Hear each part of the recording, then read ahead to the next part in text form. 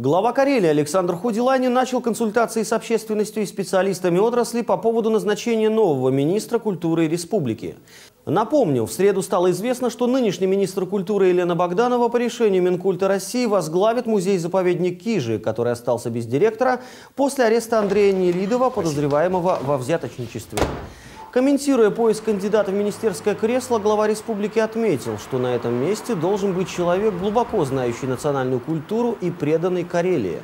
Он также отметил следующее – Профессионалов в этой сфере достаточно много. Немаловажно мнение самой Елены Викторовны Богдановой, так как при ее непосредственном участии в республике был инициирован и реализуется целый ряд масштабных проектов, в том числе реконструкция Национальной библиотеки Карелии. Большие планы требуется осуществить в рамках подготовки к празднованию столетия Карелии.